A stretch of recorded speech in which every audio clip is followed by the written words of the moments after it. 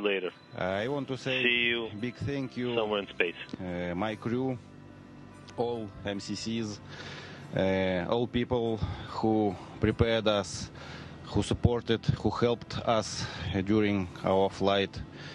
Thank you very much.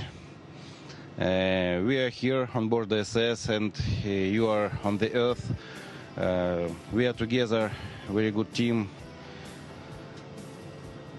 Uh, thank you very much and appreciate you for your help again.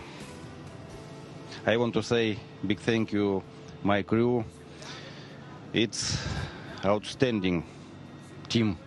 It was very pleasant to work with you, uh, and I wish you all the best, space, health, and whatever you want.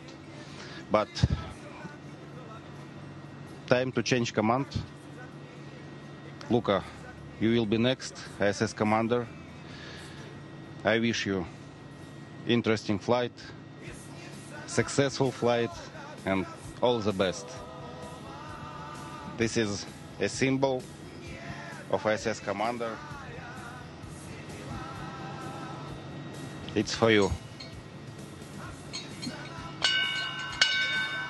Now you are ISS commander. I congratulations. Thank you. Thank you, Alexei. It wouldn't be proper for me to use too many words on the on the first day and on the day of the change of command because I haven't done anything yet. So I would pick my words carefully because some words are uh, special. They carry a lot of potential and they they realize themselves the moment you say them. So the first words I want to use is gratitude. First of all, thank you, Alexei, for your leadership during this expedition 60.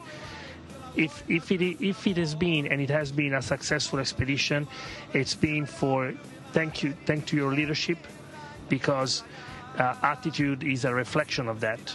Not only yours, but also Christina's as our USOS lead. Thank you for your leadership in this expedition. I will certainly use your example, both of yours example, to uh, to create my own uh, way